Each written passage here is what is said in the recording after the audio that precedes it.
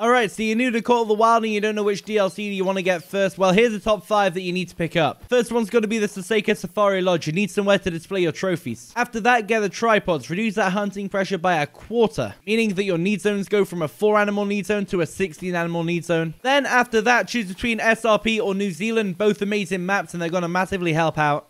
At number two, we have Yukon Valley. It's an absolutely incredible map, but it also has the 300 canning rifle, which you guys definitely need if you want to take on the bigger game animals. And then at the very top, you have the Smoking Barrels DLC for, if nothing else, the M1 on its own makes it the best DLC in this game. If you disagree with me or you have any questions, I'm live over on twitch.tv forward slash AndyWillsTV. Come on in, check us out, and have a chat.